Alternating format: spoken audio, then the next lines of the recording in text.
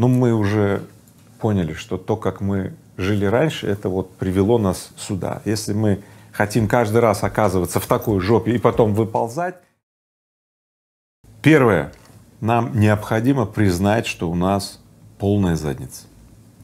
Вот взять и признать, да, мы попали в переплет, который оказался сильно хуже, чем ну, мы готовы или мы готовились, я не знаю, кто как готовился, вот и все.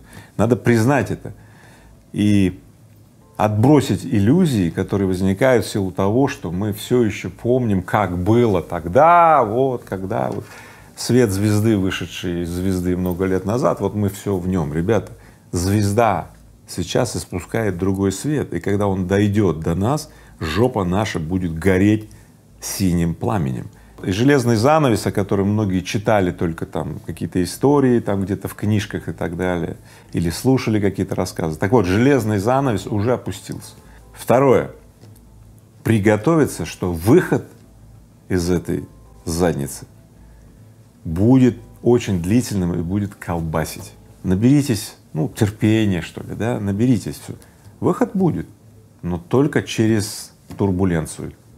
Третье Необходимо сейчас поддержать население, не делать жесткий финансовый прессинг, там кто-то кредит не отдал вовремя, изымаем у них, значит, жилье и так далее, ни в коем случае.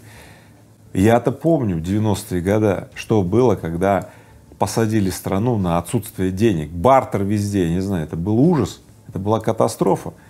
В 90-е ВВП упал на 20-30 процентов, вот на пустом месте просто потому, что взяли, убрали кэш, убрали деньги и начали вот всех дубасить. Ни в коем случае поддержать население, субсидировать ипотеку, чтобы ипотека не была не такое жесткое и сильное, не такое глубокое, да, поддерживать э, ослабевшие там, не знаю, слои населения, кто не может сам о себе позаботиться. Надо это делать. Бизнесу быстрее индексировать зарплаты, обязательно смотреть на продуктовый набор, ну, то есть на продуктовый, на ну, потребительский набор, чтобы поддержать людей обязательно. Четвертое. Правительству следует избегать сейчас резких мер, как они привыкли. Там бабки в бюджете закончились, пойти бизнес накрячить, там, подоить его.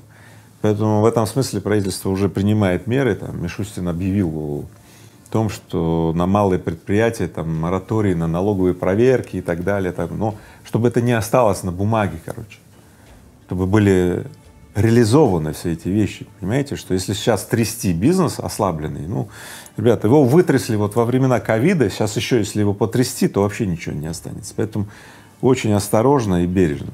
Пятое. Нам всем придется серьезно поменять уклад, в котором мы живем. Ну, мы уже поняли, что то, как мы жили раньше, это вот привело нас сюда. Если мы хотим каждый раз оказываться в такой жопе и потом выползать, ну, слушайте, наши дети тогда, наши внуки будут вот так же вот, вот, вот, но это же вот не то, что мы хотим. Люди уезжают, люди не чувствуют причастности, потому что, ну, они жили как временщики, типа временно побудем, потом свалим когда-то. Вот приходят, когда сложности, там, и говорят, пора валить. Мы как бы в перекате поле живем. Мы, мы не, не в своей стране живем, мы не владеем ей. У нас есть командиры, которые говорят, как жить, и мы такие вот ну, что-то делаем такие и ждем очередного пинка или там команды и так далее. Нам придется пересмотреть многое, как мы живем, с кем мы живем, кто и чем командует, кто нами командует, а может быть нам самим следует командовать своей жизнью, да, взять руки. Наша ответственность, наши руки, наши строительные материалы, мы сами, все. И хотелось бы, чтобы в этом каждый поучаствовал. Вот моя хата с краю — это больше не каная. Не получится отсидеться, не получится.